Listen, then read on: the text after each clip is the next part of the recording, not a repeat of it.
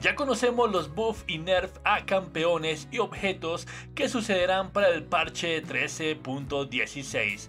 Los campeones que recibirán un buff son Milio, Lucian, Lulu, Karma, Caitlyn, Wukong, Brand, Akali, Echo y Sylas. Por otro lado, los campeones que sufrirán un nerf son Rek'Sai, Shaco Soporte, Nafiri, Shivana, quien ostenta el mejor win rate con más del 53%, y Tristana. En cuanto a los objetos, aquellos que recibirán mejoras son arco axiomático, colmillo de serpiente, garra del merodeador y cuchilla oscura. Sin embargo, el único objeto que experimentará un nerfeo es la hoja crepuscular de Draktar.